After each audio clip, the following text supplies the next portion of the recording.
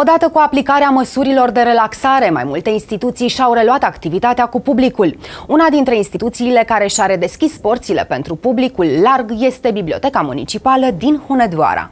Biblioteca Municipală Hunedoara s-a redeschis pentru public, dar pentru ca utilizatorii să aibă acces în interior, trebuie respectate câteva reguli în scopul prevenirii infectării cu virusul SARS-CoV-2.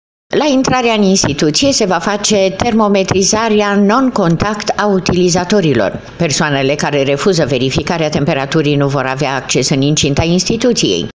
Nu este permis accesul utilizatorilor a căror temperatură depășește 37,3 grade Celsius. În spațiile publice închise din cadrul bibliotecii din Hunedoara, utilizatorii vor purta mască. Se va păstra distanța de siguranță de 2 metri între persoane, iar în secții este permis accesul unei singure persoane, excepție făcând minorii și persoanele cu dizabilități care necesită însoțitor. Timpul de staționare într-o secție este limitat la 15 15 minute, iar accesul liber la raft este interzis, doar personalul bibliotecii putând merge acolo pentru a procura documentul solicitat. Accesul utilizatorilor în incinta bibliotecii din municipiul Hunedoara este permis până la cel mult 30 de minute înainte de ora închiderii.